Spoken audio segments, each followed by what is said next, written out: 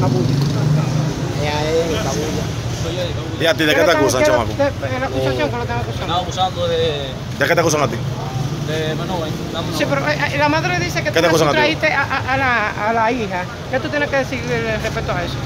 Bueno, yo la llevé, no, yo la llevé a la casa porque fue ella que fue a la casa mía. ¿Pero de qué que te están ¿Cuánto- acusando? ¿Cuántos años tiene la, la- la niña? 13 años. 13 años. ¿Y de qué que te ¿Tú están nunca has acusando? tenido vínculo con ella? ¿Tú tuviste- La primera vez que tú la ¿Tú, ves tú ahí. tuviste relaciones con ella? Primera vez que tú la Ella ahí. era novio ella y yo. ¿Usted era novio de ella? ¿Qué edad tú tienes? Cuatro años.